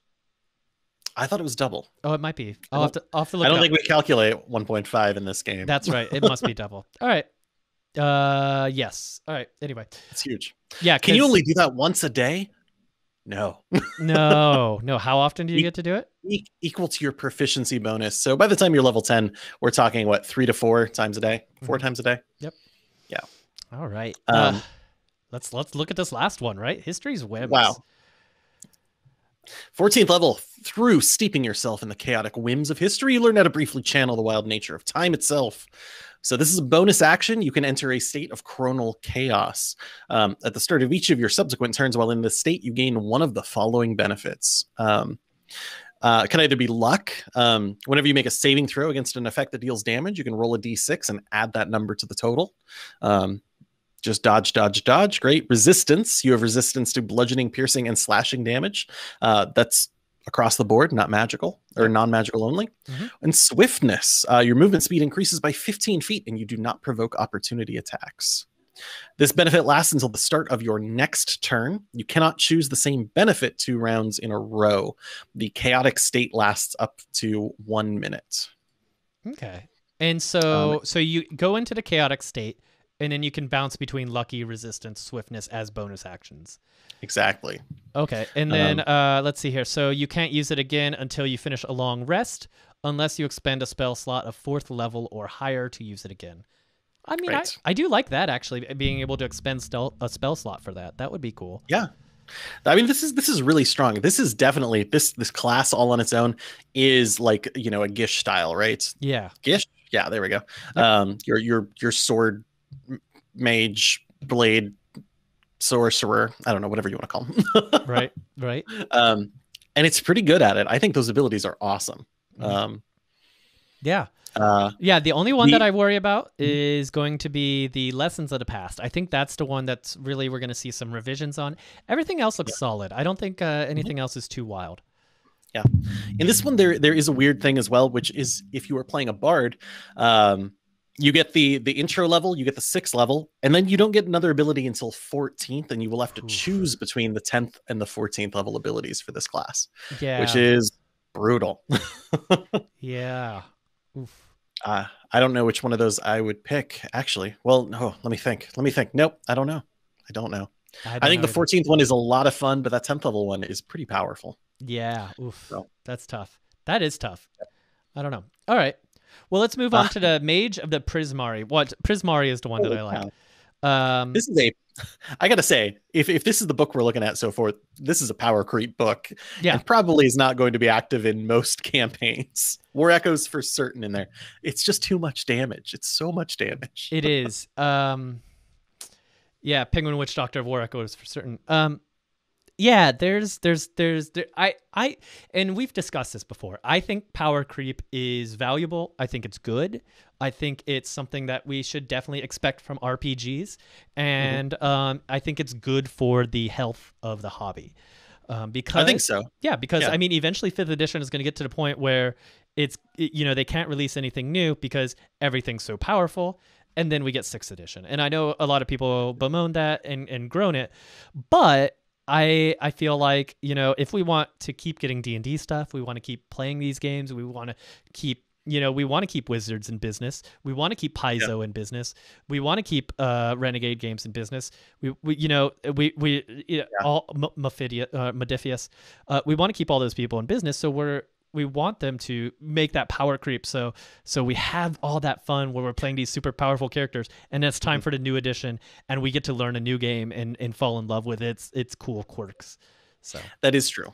I I am just suggesting that if if you were to play a College of Lorehold character and I was playing a champion fighter, um, yeah, absolutely, it's gonna you know that's yeah Yeah. we know. All right, absolutely. Mage Prismari. Uh, we've got Druid, Sorcerer, and Wizard, and just based on their their levels, these are pretty comparable. The Sorcerer is in trouble later on, but we'll we'll chat about that. But Okay. Druids and Wizards have the exact same progression in terms of these features. Okay. All right. So, uh, so at level one, uh, you get or your first uh thing, you get uh, creative skills. So you gain the proficiency of two of the following skills of your choice: acrobatics, athletics, nature, performance. I love it. I love that. Yeah, easy. I like giving more skills. I like more skills. All the skills. Uh, now let's see here. So uh, you also get um, at the same level, you get kinetic artistry. So uh, you can use dash as a bonus action, which I, I just wanted to point that out right away. That's I think it's super powerful whenever a monk Mhm. does it. I see think it's super powerful when a rogue does it. I think it's great when anybody can do this. I, I already I already enjoy kinetic artistry. Yeah. hmm And then whenever you do that dash, Uh-huh. you also get a benefit. Yeah. So let's start with a boreal sweep. So icy water swirls around you until the end of your turn. You can move across surfaces of water as if it were harmless as solid ground. I love that. Additionally, when you leave a space within f- uh, five feet of a creature, you can force that creature to make a strength saving throw against your spell save DC. On a failed save, the creature is knocked prone. A creature can be affected uh, by the. Uh, a creature can only be affected by the water once per each turn. I love it. Interesting. I love it. I like that ability. I would be curious. Um, this puts up a timing issue, right? Because whenever you leave uh, someone, you know, five feet away, they get an attack of opportunity. Which one of these should trigger first? Do they get knocked prone before they get to slap me, or is it moving away? Is what? Ugh. Um, They get knocked prone before they s- uh, slap you because it's the moving away. it's the moving away that does that. Versus okay. Yep. Fair. So, All right. Oh, but So actually, they are both. They are both when you leave a space. So Yeah. uh, I would. That's going to be one where the DM has to abdicate it, and I will always defer to the players. Yeah, we'll make it more fun instead of more penalizing. so, Mhm. so probably every time you were swooping away, you were knocking someone prone. They were getting disadvantaged to attack you on their attacks of opportunity. You don't have to disengage. Um, That's pretty nice. I will say though that you can do this as a bonus action. I don't. We haven't gotten to the next page, so I don't know the limits per day. But if there is limits per day, It Uh, is your proficiency bonus. Oh, okay. Uh, and a get them back on a long rest. Okay. Yeah, I, th- I think for a long rest, I, I, I feel good about this. I would even, you know, give a bonus to AC or something, right? Like, Mhm. I, I think tossing a plus two to AC whenever you're getting attacked by attack of opportunity with this power, I, I don't think that would hurt it. I think that would Well- make it more playable. Let's look at some of these other options. Oh, that's true. okay. Uh, all right. So, uh, Scorching Whirl. Uh, flames wreathe your steps. Once before the end of your turn, you can force each creature within a five within five feet of you to make a Dexterity saving throw against your spell save.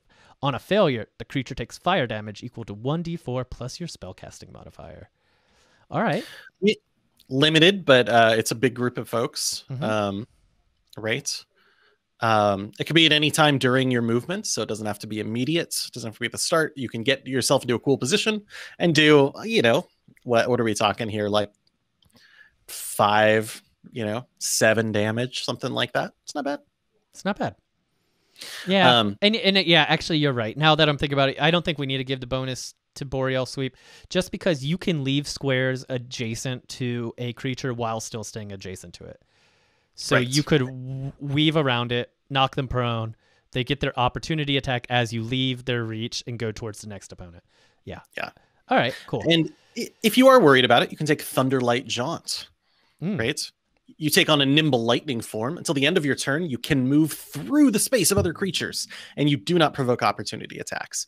Um, if you end your turn inside a creature's space, you are pushed into the next unoccupied space. So this is the one for uh, I'm going to go where I want, and no one can do anything about it. Yeah. yeah, you would is great. potentially get a bonus five feet to your speed too with it. Mhm. I like yeah, that. if you set it up right. Yeah, I like that. So we got a lot of movement things in here. Definitely, this is feeling like the monk or rogue option in this game. Yeah, yeah. So you know, for this, if you're playing a a druid, sorcerer, wizard, you know, a blade singer would be a ton of fun with this. Yeah. Um, none of the druids or sorcerers really stand out to me specifically for this, except the fact that you know some some sorcerers deal with some of that elemental damage types, and I think that would be good there. Same thing with the druid. Okay. Um, Okay. kinetic artistry, like I would have, I would have almost based on based on what I know about the magic game and based on you know this bit, I would have almost dropped sor- or wizard and gone bard. Um, but it is a wizard school. Yeah. I, I might have put bard in there just in general, but maybe not. All right. I believe, although I'd have to check, that all of them are wizard. Oh, that's Yeah. not true. The last one is not wizards. Okay. But Cool. Okay. All right. So uh, where are we at? We're at favored medium. favored medium. Yes. So you've owned you've you've honed there we go your forms of elemental expression to best suit your ideas um, choose one of the following damage types cold fire or lightning you gain resistance to that bam um, additionally whenever you cast a spell using a spell slot that deals the chosen damage type you emit a spectacular aura which extends five feet from you in every direction and lasts until the end of your next turn while the aura is active, each creature of your choice has resistance to that damage type within the aura as you shape those like elemental medium around them. So you Alright. decide, you know what?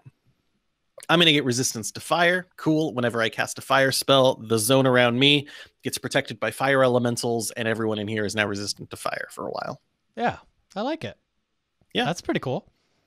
It's a cool, and you know, you take a long rest and you decide, nope, tomorrow's going to be a cold day instead. Yeah, I like that it lasts for the whole day and it's on a long rest, right? Um, Mhm. Right, because it does But last all day. set. Yeah. Yeah, Mhm. yeah. No, I dig it. I think it's cool. Yeah. I like that power. I do too. It doesn't seem overpowered at the moment. Uh, it seems very useful. It Um, does. I like that. I do too.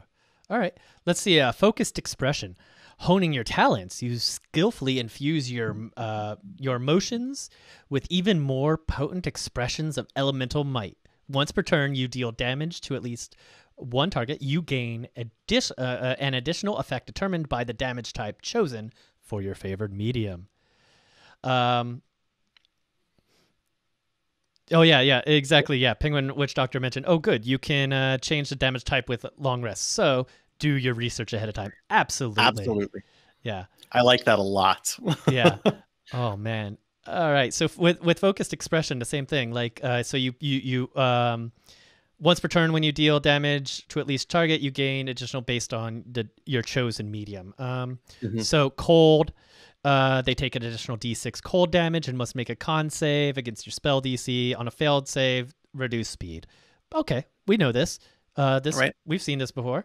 Uh, That's basically the frostbite cantrip. Yep. Sounds good. all right, cool. uh, fire. Um, let's see. That's going to be additional D6 fire damage, and flames dance around uh one creature of your choice within 30 feet. The chosen creature gains a D6 temporary hit points. I like that. I like. So they Uh-huh. did. They did something with the last batch of druids where they talked about not just the destructive properties of fire, but the cleansing and healing properties of fire. Great. Yeah. And I like that they're bringing this back. I Um, like that as well. yeah, and then lastly, lightning is a d6 lightning damage, uh, dexterity saving throw, and the target is unable to take reactions. Um, okay, yeah, I mean that's not horrible either, right? Um, I, Great. I, I do, I almost would want that one to do a d8 damage as opposed to a d6. I mean, th- the thing about these abilities is they, they happen once per turn. There is no Oh, limit. These Yeah, are infinite. yeah. So I, I- I'm you're right. In that case, I would drop cold and fire to d4s. Yeah. Because it's a little bit, right? It's a good boon, Mhm. but that's a lot of damage if you're running around. I mean, uh, potentially you're a druid, you're running around in like wild shape form, you're smashing folks with huge claws and also doing these things. I mean, Yeah. that's Mhm. this is pretty strong. Pretty strong. Um, the, the last one is at 14th level impeccable physicality.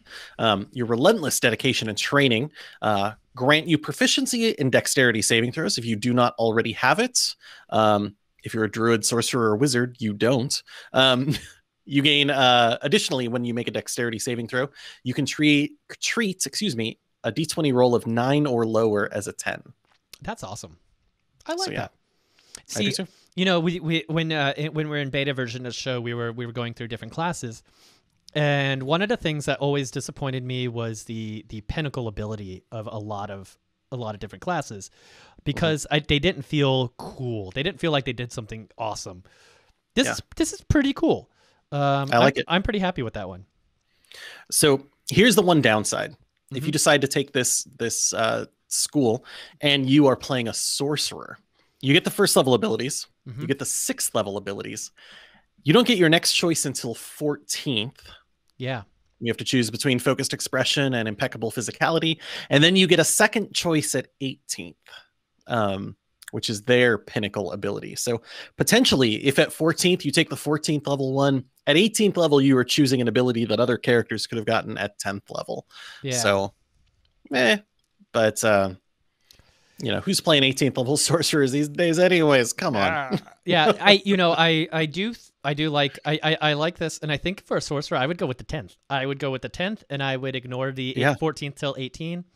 Um, what di- what's uh uh what's the sorcerer's strong saving throw? Um, Oh, making me do research. Uh, I because expect. because if it's already Dex, right? Because they because their weak one is Cha, which is their primary, but it's still their weak one. But their their strong one, I think, it might be Dex or Con. Sorcerers are proficient in Constitution and Charisma. Oh, okay, Con then. All right, okay, yeah. So that's a bummer, but whatever. All right, uh, Mage of Quandrix. Oh man, there's there they they did give us a fair amount to go through. So uh, here we go. Mage- There are five. yeah, exactly. Mage of Quandrix. Uh, for those who become mages of Quandrix, math and magic go hand in hand. Such individuals learn to break down natural phenomena into uh, their core numerical components, and through manipulation of those, alter reality on a whim. Uh, Ooh, so on and so forth. All right. So, uh, using the subclass section, we know all about that. Let's start with Quandrix spells. This Okay. one seems right up your alley. So why don't you uh why don't you start us off? I love one? this. So uh, you immediately learn the cantrip guidance and the first level spell guiding bolt. Um, which I'm a huge fan of guiding bolts. Mm-hmm. I think it's a fantastic spell. Uh, I do hate missing with it, but still, um, that's you hit the target and the next person to hit them gets advantage, which feels like I've learned a secret. Um, you also get a cool list of spells, um, including enlarge, reduce. Feels very mathematical. Mhm. Um, uh, circle of power, freedom of movement, pass wall, control water, haste automatically should be in here. Spike growth is an interesting choice, but uh, it is one about like making nature react, I suppose. Yeah. So I like Yeah. that. Okay, cool. Um, so it doesn't quite have the full math theme. You know, it's not like a time sorcerer or anything. I do Yeah. like it. Okay. Uh, all right. Functions of probability. So, uh, by Here iterating on the mathematical patterns of reality, you can nudge chance to tilt around a creature. When you uh, cast a spell using a spell slot, uh, the target creature at least, or uh, uh, that targets at least one creature, you can choose that creature or another creature within 30 feet of it, including yourself, and add one of the following benefits. Oh, All right. okay. Diminishing function Mhm. is number one. The chosen creature must succeed on a wisdom saving throw against your spell save DC, or the creature must roll a d6 and subtract the number rolled from the next attack roll it makes before the start of your next turn. That's so cool. it gets it gets bardic disinspiration. All right. Yeah. No, I like. I, Okay. I I like that. I like. I like anything anything that you can penalize the DM with. So, Mhm. uh, I like diminishing function so far. All right. Tell me about supplemental function. Supplemental. Once before the start of your next turn, the chosen creature can roll a d6 and add the number rolled to an attack roll or a saving throw of its choice. Um, and again, it can roll uh, after the d20, but before it's said, like, oh, I've succeeded or failed. Okay. So you're basically right whenever you're casting any spell that's going to affect anyone at all. Um, you could say either penalize or or boost someone by a d6. All right. Well, first off, this is going to get reduced before whenever it gets gets into publication. Uh, we're going to be dropped down to you know uh, proficiency mod times per short rest at the at the biggest. it's going to be smaller than that. It's probably going to be proficiency times a day, or it's going to be something like that. But uh, already, Otherwise, it's every spell, every spell.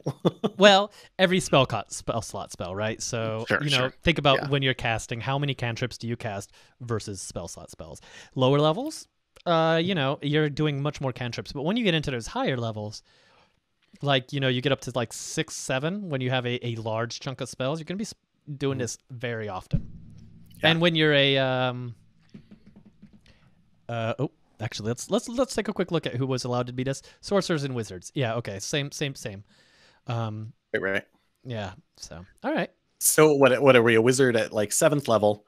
Um, say seventh level. Yeah, about seventh level. I, you know, I really think Uh, about fifth level is when, when it starts to teeter. But by seventh level, you're going to be mostly casting level spells. Yeah, and you get eleven spells a day at that point. So you're using that ability eleven times. Yeah, Yep. that's a lot. That's a lot. Uh, all right. Well, once you hit sixth level, both of these are going to get velocity shift. You learn to manipulate kinetic formulas and alter the velocity of another creature. Uh, when a creature you can see starts its turn or moves to a space within 30 feet of you, you can use your reaction.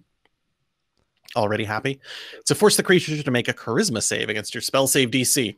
They're going to fail that, Mhm. which it can choose to fail. On a failure, the creature is teleported to an unoccupied space of your choice that you can see within 30 feet of you. Um, that's uh, you can use that a number of times equal to your proficiency bonus per day. Yeah. So That's, nice. You just like get out of here, move, or to your friends, go over there now. yeah. Yeah. No, it's great, and it uses your reaction, Which Yeah, is great. which is I mean, great. Uh, more uses for reaction, especially for for spellcasters. I like it a lot. I yeah. I do too. It's powerful. I like it. Cool. Null equation. Mm. Um, so null equation makes me think of the rule, or what is it? The the there was um this whole thing talking about zero and cal not in calculating for zero and how they had to sort that out in order to be able to do some of the math that they do for space because you know uh, w- w- oh oh wait no it's the airplane thing right you've told me this so wh- if you're if you're if you're redesigning an airplane and it's Oh yeah. Okay. Uh-huh. and it has bullet holes everywhere, right? The, right. The, the yeah. plane- Armor theory. Mhm. ex- armor theory. There we go. You're right. when I read null equation, I was like, oh man, this this sounds like this exactly sounds like that because you're not Right. you're not solving for where the holes are. You're solving for the where the holes aren't. Right. On all the planes that never made it back because they exploded. Exactly. Yeah, Yep. absolutely. Yeah. Yeah. So- If these can still make it back, they're fine. Don't Yeah, mess with that. exactly. But null, uh, null equation for us is a little bit differently. So through careful calculations, uh, you beset your enemies with abstract equations that reduce their might. Once per turn, immediately after dealing damage to a creature, you can force that creature to make a con save against your spell save DC. On a failure, the creature has disadvantage on strength and dexterity saving throws, and its weapon attacks deal only half damage. Uh, these effects last until the start of your next turn. You can use this uh, um, a number of times equal to your proficiency bonus and regain all expended uses when you finish a long rest. That's That cool. is huge. That's huge. I mean, the good news is it is a const. I mean, from the DM's standpoint, it's a Constitution saving throw. So our biggest brutes are probably going to make that save. So you Mhm. you can't just be like, all you do is hit us really hard with weapons. How about half damage for the rest of you know your short life? right. Um, because we're you know we're fighting you now. Yeah. Um, but uh, that's that's strong. That's great. yeah, and I think that's strong, but not overpowered. So I don't think we'll see any Yeah. revisions to that. Or i- if there is, I'll be very surprised unless it's like a whole revamp. Uh, Yeah. Whenever we see the published version. Right. Wow. Wow. That's cool. Okay. All right, here we Um, go. Quantum tunneling. And last, quantum tunneling. which is going to be Uh, good for a wizard, but a sorcerer is going to have to make a decision. Yes, yes. Um, and so this one is um, you. Well, first of all, just being good at math makes you resistant to bludgeoning, piercing, and slashing damage, like that. Um, You you alter the foundational equations of your very being. Uh, additionally, you can move through other creatures and objects as if they were difficult terrain, but you take a D10 force damage for every five feet you move while inside another creature or object. Um, if you, you end your turn inside a creature or an object, you are shunted into the nearest unoccupied space you last occupied. So this is wild. I mean, that's like having um, uh, what's the the third level spell where you become gas, gaseous form. That's what it's called. form, Yeah. right. You basically have that all the time. I Oh, love the so cool. shunting mechanic. Yeah. That's very cool.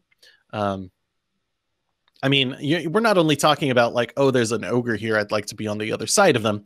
This is like, I'd like to move through that wall and see what's over there, right? Um, the the limits of the map are no longer limits for you as long as you can take the damage. Yeah. No, that's that's pretty cool. Um yeah, I'd have to think about who who would take that though, right? Like um you know, cuz classically we think of sorcerers and wizards as kind of squishy. Um Mhm. you know, there is I I would almost think this might be a good fit for a couple of the sorcerers, the the um the unliving sorcerer for one, uh just because of their durability. Uh the Oh, dra- but dragon sorcerer for another one. but this is their subclass, so they can't be those. Oh, you are correct. So, oh man, huh. That's tough. It's tough taking 10 force damage as a sorcerer or a wizard. I mean, that's a huge amount. Yeah. Um, yeah, but that's level 14, so you're averaging like 8 hit points by then if you're a wizard, maybe 9 Right. if you if you invested anything into con. Yes. Which you know, I don't know. Maybe you do. There's there's some decent things here, which I, I think make that useful. I would not want to. And again, you can only move your speed. Still, you're not getting faster. No. So probably you're teleporting 30 feet.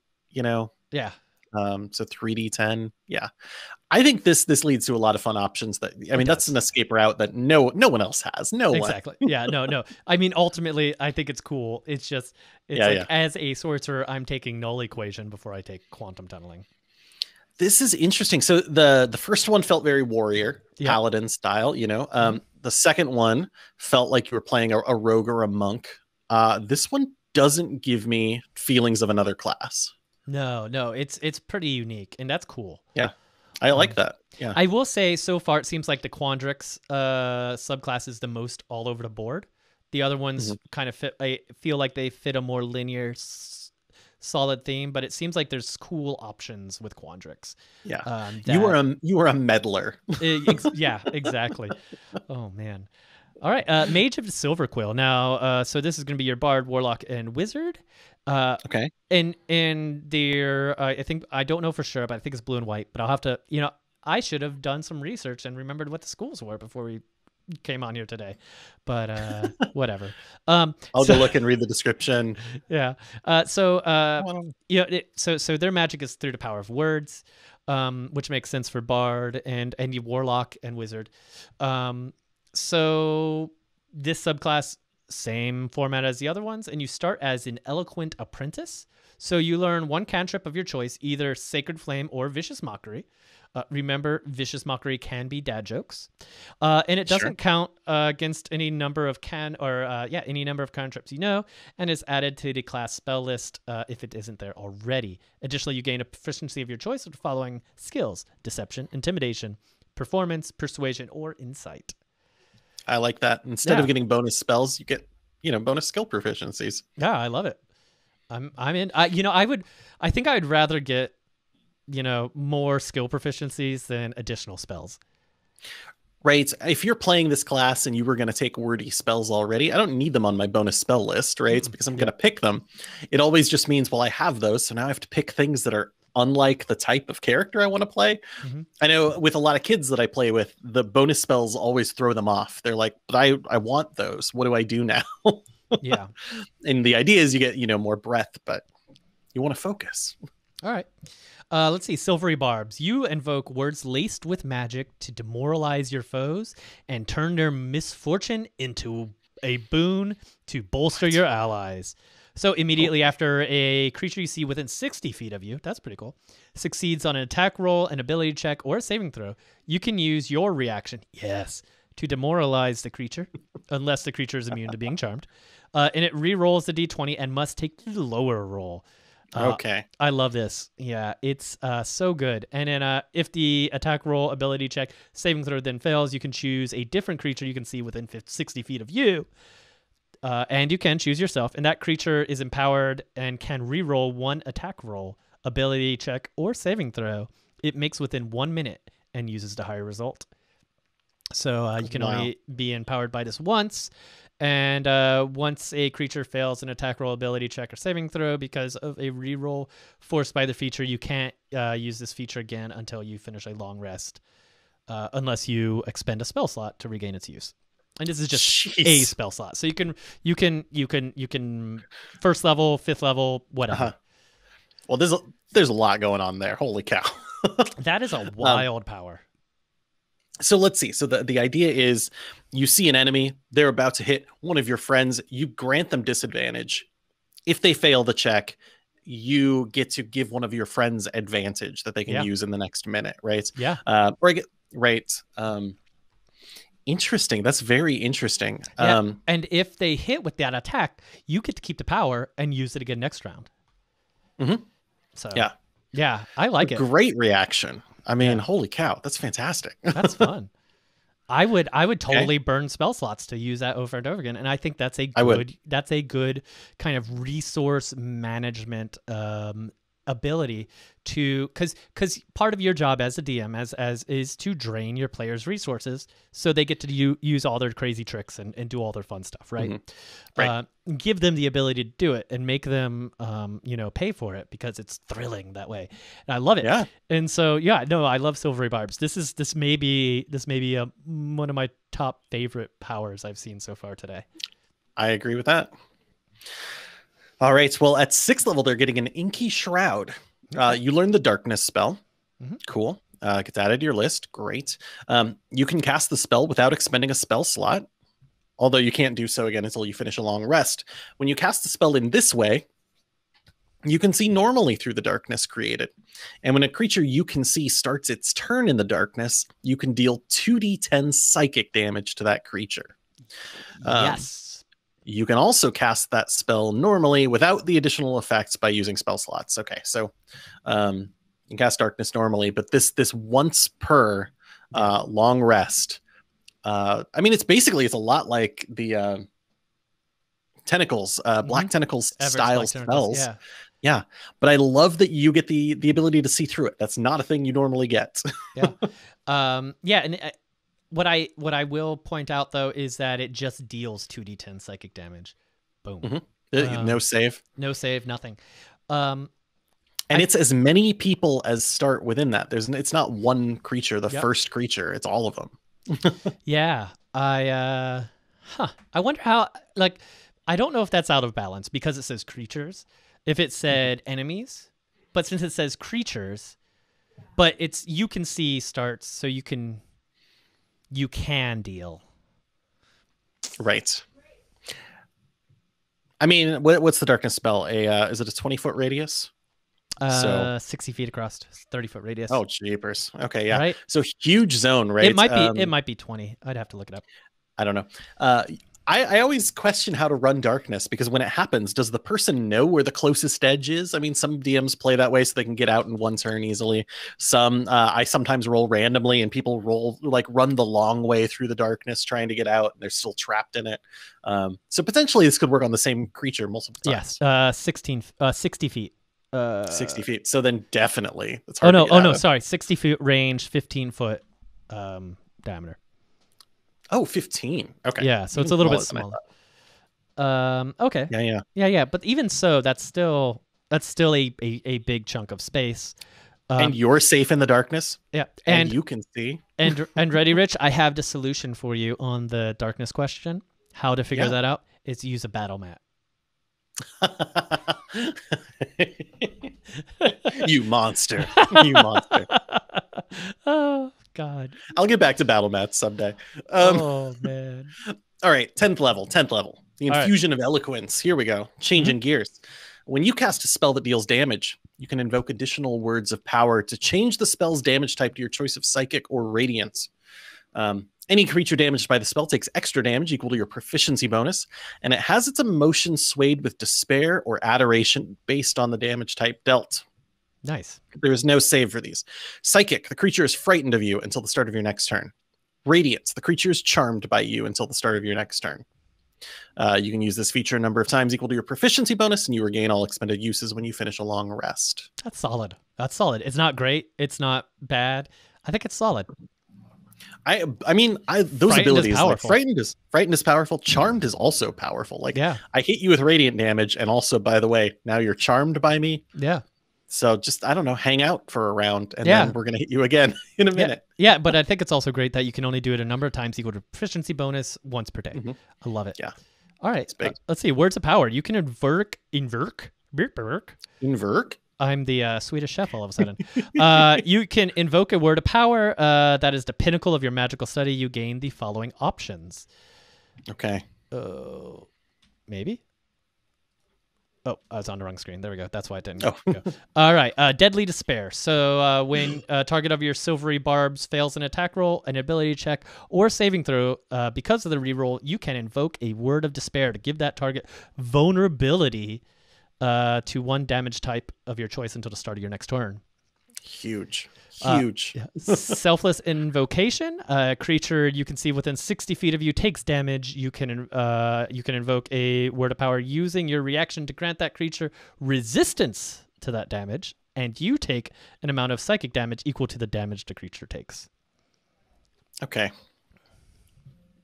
So overall, a lot of like dualistic choices in this one that I like a lot. Yeah, Um, I think that's really, really fun uh, overall as a class. I mean, you were really messing with some people, which is neat, but it's got some like warlock style vibes to it that I like a lot. yeah, Um, this one again uh, can be taken by bard, warlock, or wizard. Warlock or wizard have the same progression, but bards you're going to miss out on one ability.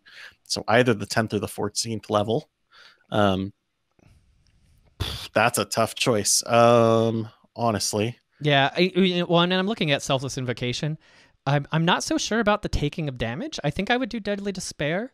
So I think if I were only going to take Inky Shroud or uh, or sorry, uh, Infusion of Eloquence or uh, Word of Power, I would take Infusion of Eloquence every time. I think so too. Just because uh, there are, I mean, few limits on that one. When you cast a spell that deals damage, that can be a cantrip. All right, are you ready, Rich? Because it's time for speed round. Because we got to get through this one quick and wrap up for the next show that everyone should stick around for. Uh, New Pantheon Academia. Oh, Uh, I was prepared to end. Are we going to do it? Are we going to do it? I think we could do it. Ready? All right. So Witherbloom is uh, black and green. I know this.